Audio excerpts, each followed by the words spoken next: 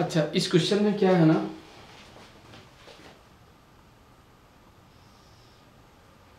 एक काइट है, यहाँ पे। काइट का जो हाइट है, वो 151.5 मीटर है ग्राउंड से। ठीक है? और यहाँ पे एक पर्सन है, इसका जो हाइट है, वो 1.5 मीटर है। ये काइट का पोजीशन है और यहाँ से ये जो स्ट्रिंग है, ये 250 मीटर है, ठीक है? और यहाँ से जो हवा बह रही है, वो जो विंड का जो स्पीड है that is 10 metre per second ठीक है?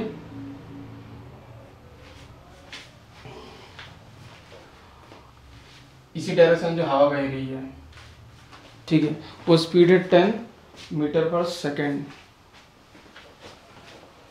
मतलब कि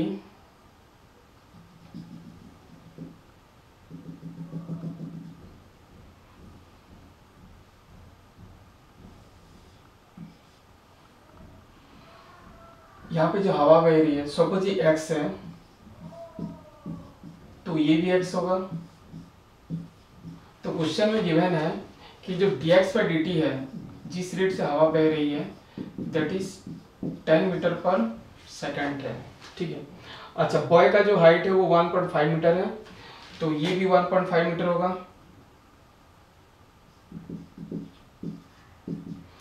तो ये हो जाएगा 151.5 माइनस 1.5 इज़ 150 मीटर होगा।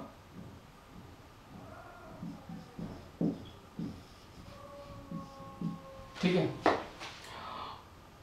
क्वेश्चन ये गिवन है कि अगर ये स्ट्रिंग 250 मीटर की दूरी में होता है तो स्ट्रिंग किस रफ्तार से खींचेगा? किस रेट से खींचेगा? ठीक है? तो in triangle ABC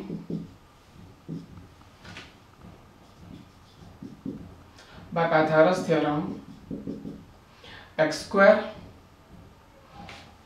इसको y ले लेते हैं। ठीक है। X square plus y square equal to x square plus one fifty square it is equal to y square अब, अगर y को मैं 250 लेता हूँ,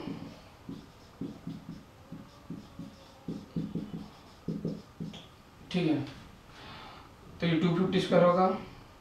तो x स्क्वायर हो जाएगा 25 का जो स्क्वायर होता है 625 और डबल ज़ीरो और ये 15 का स्क्वायर होता है 225 और डबल ज़ीरो तो ये हो जाएगा फोर एक्स स्क्वायर वैल्यू इतना आ जाएगा तो x हो जाएगा फोर्टी सेवन का रूट तो ये टू हंड्रेड होगा। तो one x one y is two fifty metre then x is two hundred metre ठीक है? अब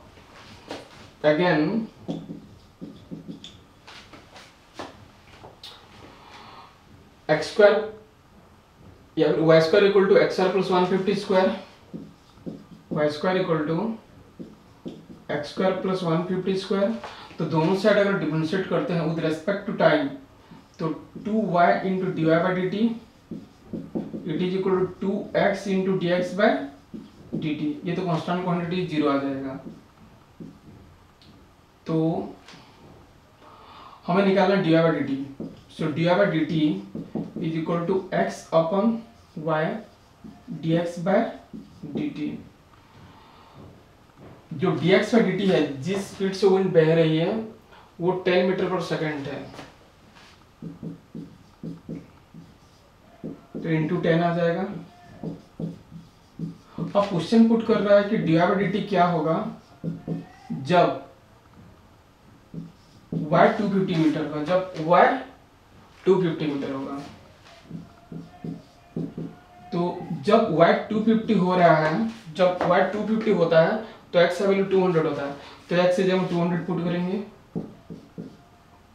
तो zero zero cancel five four जा फाइव फाइव जा फाइव टू जा। तो ये होगा एट मीटर पर सेकेंड तो जब ये स्ट्रिंग 250 मीटर होगा तो स्ट्रिंग जिस रेट से खींचेगा वो है एट मीटर पर सेकेंड ठीक है?